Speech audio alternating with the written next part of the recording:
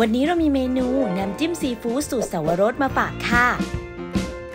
ใส่พริกขี้หนูสวนลงในโถปั่นตามด้วยพริกชี้ฟ้าเหลืองกระเทียมดอง กระเทียมไทย ข่าสับ ใบมะกรูดฉีกก้านกลาง เกลือป่นเสริมไอโอดีน น้ำต้มสุก และเสาวรส fruit spread preparation ตรา Nature Taste